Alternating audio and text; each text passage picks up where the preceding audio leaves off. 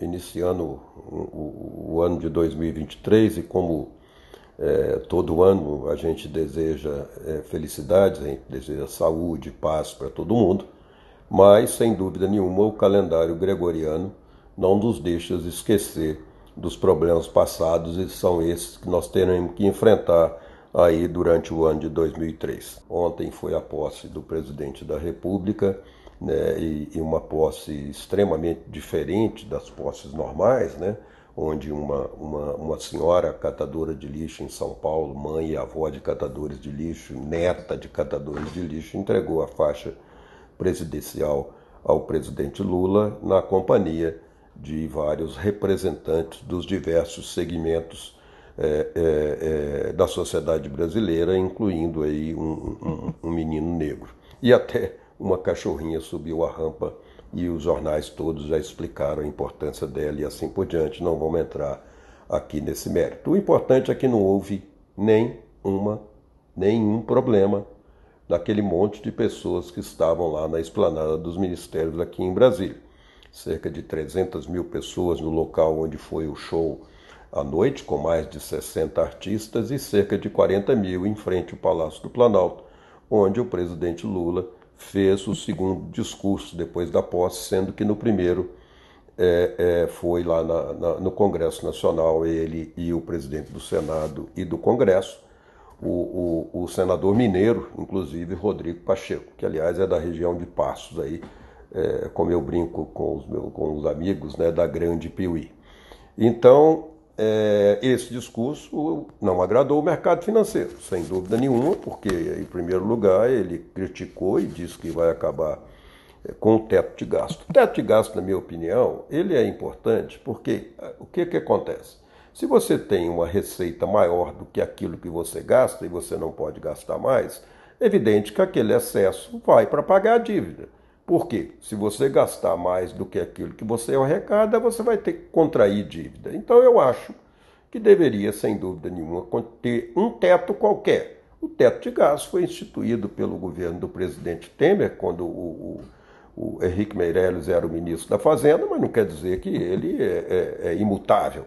Pode mudar. Agora, o que preciso, o país precisa ter é uma âncora fiscal, porque é, não, há, não, não há divergência com o objetivo de combater a, pobreza no Brasil e, e, e, e os debates do, do, do, governo Lula, do ponto de vista do desenvolvimento, do ponto de vista da maior presença do Estado é, na economia. Né? Ou seja, a grande diferença entre as duas correntes de pensamento econômico, eu já conversei com vocês sobre isso, né? é que a corrente que está no governo hoje é uma corrente desenvolvimentista né, que acha que o, o, governo tem que incentivar a economia, enquanto é, é, é a, os adeptos da economia, da, vamos dizer, do governo anterior, eram mais voltados para a iniciativa privada. Tanto é assim que uma das primeiras medidas do, do, do, do presidente Lula foi retirar a Petrobras, os Correios e, e a EBC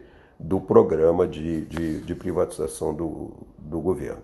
Sem dúvida nenhuma que no curto prazo, para você diminuir é, a fome das pessoas, que é extremamente é, grande no Brasil, é, é, sem dúvida nenhuma, é, no curto prazo tem que ser mesmo. Com a Bolsa Família, era Auxílio Brasil, manteve em 600 reais, o que está absolutamente correto, mas no longo prazo, sem dúvida nenhuma, depende do crescimento que a economia vai ter no, no, no, nos próximos anos.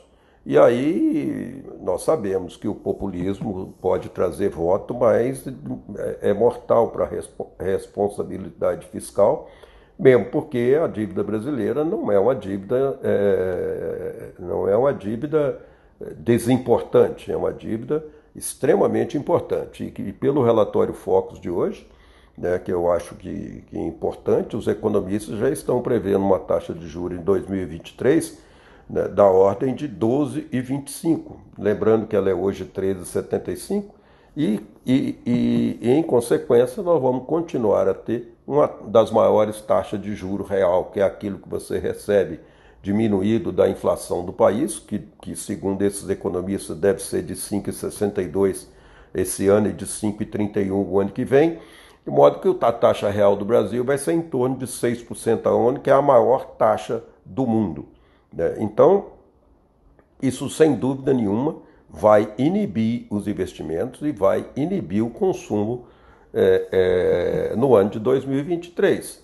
E aí é que, que, que reside o problema. Em nenhum momento, nem o discurso do presidente Lula ontem, nem o discurso do ministro da Fazenda, Fernando Haddad, hoje, é, é, deu pistas né, de como que vai ser essa questão que você vai compatibilizar o Estado desenvolvimentista com a responsabilidade fiscal e monetária. Nenhum deles dissem em detalhes como compatibilizar é, é, essas duas coisas. Né?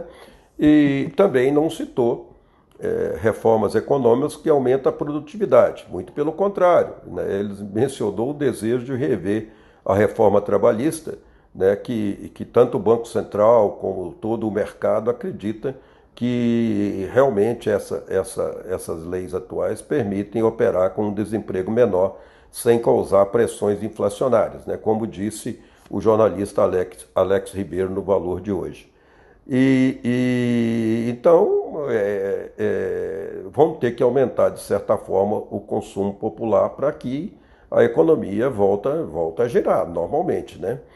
O presidente Lula, é, nesse terceiro mandato, encontra o país em completa situação diferente de que ele é, encontrou em 2003. Né? É, é, é um mundo novo, né? É um mundo com a inflação alta, tanto na Europa quanto nos Estados Unidos, que são os nossos maiores parceiros é, é, é, é do comércio exterior. Nem vou falar da Argentina, porque a Argentina realmente é, é um grande parceiro do Brasil, mas lá a inflação está é, tá nas alturas, não vale nem a pena dizer. Mas então, assim, o, o, e além de tudo, nós temos essa guerra da Ucrânia, que faz com que a crise dos combustíveis é, deva, deva perdurar né, ao longo do tempo. É, a gente já esperava que nesse início do ano houvesse um aumento aí da gasolina e do diesel em função da desoneração tributária é, é, instituída pelo presidente Bolsonaro, que terminou no dia 31 de dezembro, mas é, o, o, presidente Lula é, assinou uma medida provisória prorrogando por 60 dias a isenção da gasolina e por um ano a isenção do diesel e do gás de cozinha. Então vamos ver como é que vai ficar isso, porque sem dúvida nenhuma é né, a, o combustível, é o motor que alimenta né, tanto a, a, a, parte da economia brasileira é, que, sobre rodas, né, como a parte da economia brasileira das pessoas como um todo, né, tanto na gasolina quanto o, o, o óleo diesel. Enfim, quer dizer, o presidente Lula foi duro, ele foi duro, ele, ele falou muito mais do ponto de vista político do que do ponto de vista econômico, mas foi um, um recado que não agradou o mercado. Tanto é que a bolsa hoje caiu cerca de 3, chegou a cair 3,75, 3,80 do lado durante o dia, fechou aí por volta de 3,20 de queda e a 106 mil pontos e o dólar subiu, fechou a 5,21, 5,22. É uma demonstração que efetivamente o mercado financeiro não gostou das primeiras manifestações é, por parte do, do, tanto do presidente quanto do ministro da Fazenda. Enfim, é aguardar para ver o que vai acontecer nos próximos dias, quais medidas serão tomadas e quais perspectivas, né? porque nós não podemos falar de medidas de curto prazo, nós temos que falar daquilo que, que, que se prevê que o governo vai fazer para compatibilizar as ideias né, do, do, da diminuição é, é, da pobreza brasileira, da diminuição da fome, com o necessário equilíbrio fiscal, porque nós sabemos que é o equilíbrio fiscal que gera emprego e, gerando emprego, ele vai é, fazer com que a vida do brasileiro seja melhor.